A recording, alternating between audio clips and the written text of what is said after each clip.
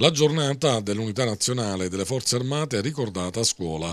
È l'iniziativa che si è svolta oggi nell'aula magna dell'istituto Ettore Romagnoli di Gela, presenti gli studenti delle classi terze. Interessante il dibattito al fine di ricordare la vittoria italiana nella prima guerra mondiale. La scuola secondaria Ettore Romagnoli è una scuola pubblica e come tale rientra nelle agenzie formative formali insieme a quelle non formali che fanno sì che poi si crei il tessuto sociale, il tessuto tessuto connettivo di un paese.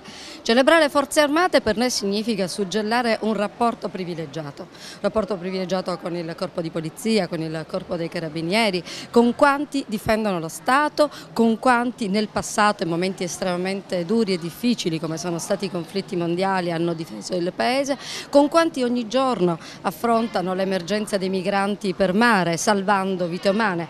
Proprio stanotte la notizia di un'ulteriore strage, 250 40 morti nelle canali di Sicilia. Noi sappiamo che le forze dello Stato intervengono nonostante l'indifferenza europea, l'indifferenza collettiva. Ecco, per noi come Scuola Romagnoli parlare delle forze armate, celebrare loro significa dire noi ci siamo, noi siamo con voi, noi saremo sempre al loro fianco. In bella mostra nell'aula magna anche un fucile legalmente detenuto dallo storico Nuccio Mulè. Appartiene innanzitutto al 1891 perché è il classico fucile emblema della prima guerra mondiale utilizzato dai eh, militari del Regio Esercito durante la guerra di trincea.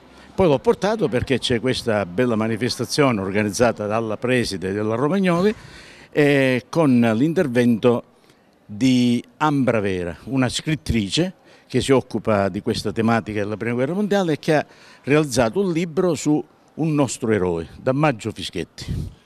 Come le è venuta l'idea di scrivere un libro dedicato interamente ad un eroe gelese?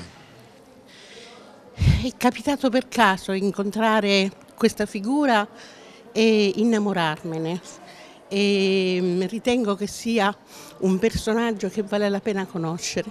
E perché avete presentato il libro proprio il 4 novembre, il giorno delle forze armate? Oltre che ad essere il giorno delle forze armate, è anche il giorno in cui si celebra la vittoria della prima guerra mondiale e quindi è doveroso ricordare anche questa data e soprattutto qui a Gela con Damaggio. Per me è stato bello interessante perché ho fatto una ricerca di immagini storica e l'idea di mettere una storia così importante attraverso le immagini e renderla più fruibile magari ai ragazzi, a gente che insomma ne capisce un pochettino di meno, eh, penso sia una cosa interessante.